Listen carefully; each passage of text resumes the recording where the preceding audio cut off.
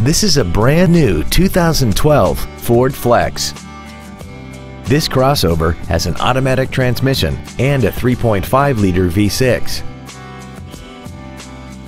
Its top features include traction control and stability control systems, commercial-free satellite radio, big 18-inch wheels, and a tire pressure monitoring system. The following features are also included air conditioning, cruise control, an auto-dimming rear view mirror, a six-speaker audio system, leather and alloy steering wheel trim, privacy glass, dusk sensing headlights, an anti-lock braking system, front and rear reading lights, and fog lamps.